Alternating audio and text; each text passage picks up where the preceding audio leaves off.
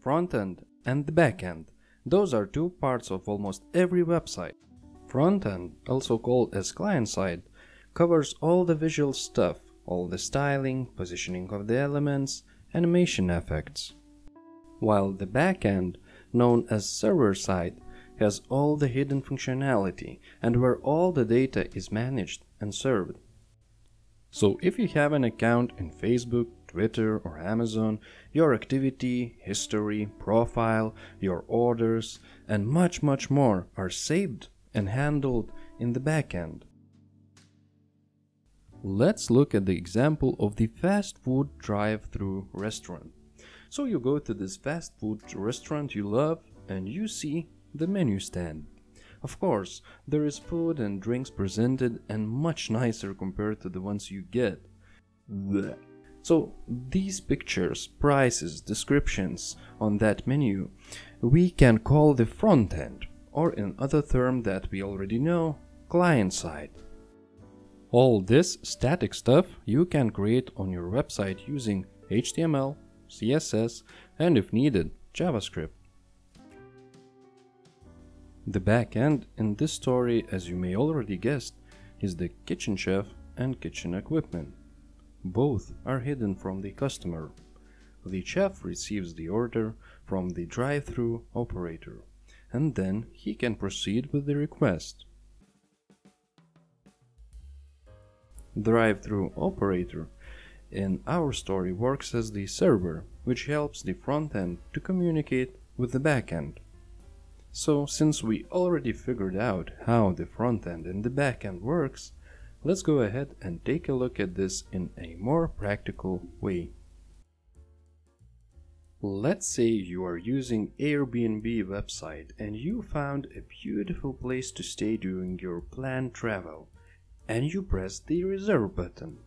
So what happens in the background? After the reserve button is clicked, computer sends the request to the server. The server receives the request from your computer in a URL form.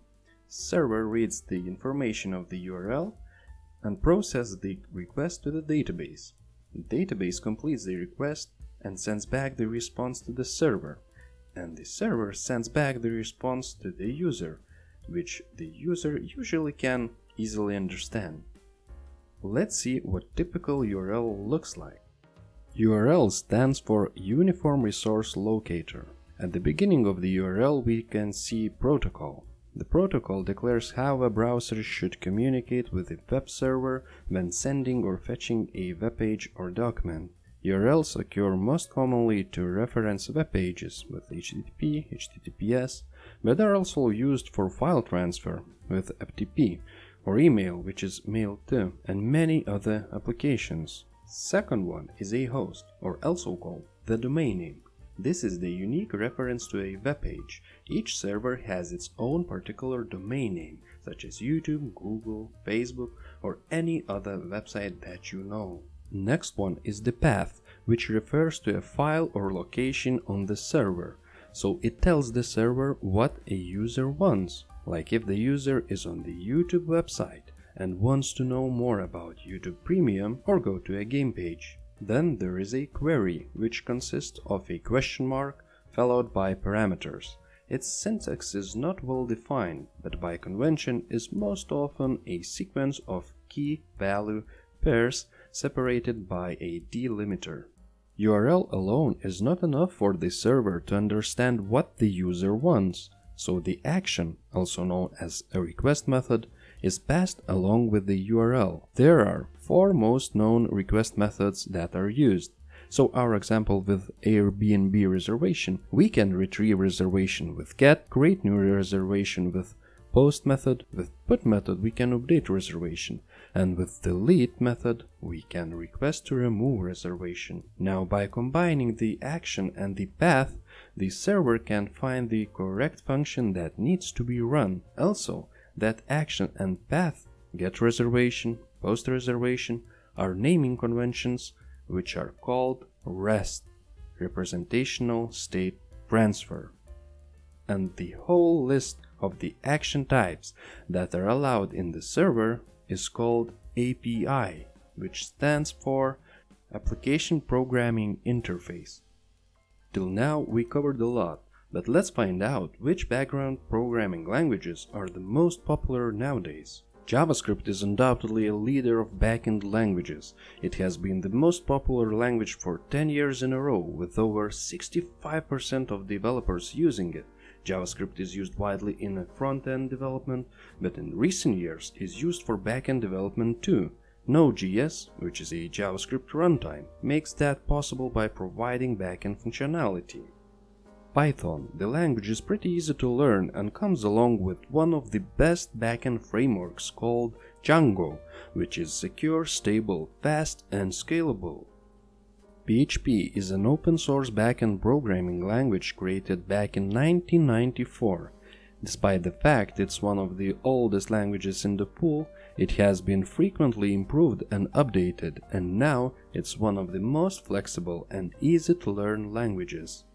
Golang, also called Go, is a fast-growing programming language designed by Google.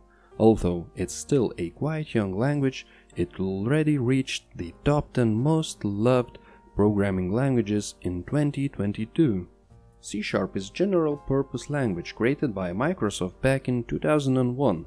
It is based on C and C++ programming languages, so it's easier to learn it when you already have a basic understanding of those languages. To use only those backend programming languages to create these servers would be a total waste of time.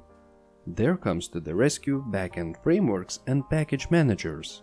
So it's a lot less code and much easier to write and obviously it saves your time. Most popular backend frameworks would be Laravel for PHP, Django for Python, ExpressJS for JavaScript, and Ruby on Rails. Now what about package managers? A package manager keeps track of what software is installed on your computer and allows you to easily install new software, upgrade software to newer versions, or remove software that you previously installed. So the packages will help to communicate with the database do calculations, will help setting up login and authentications, and much more. And finally, let's move on to the databases. A database is information that is set up for easy access, management, and updating. What are the most used databases? It's Oracle, MySQL, Microsoft SQL Server, PostgreSQL, and MongoDB. Each of them have their pros and cons, so it's totally up to you which one is the best for your project.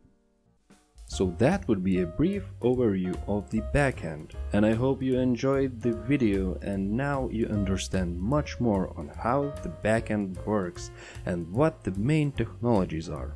If you like this video, please do not by any means forget to subscribe and have joyful further learning. See ya!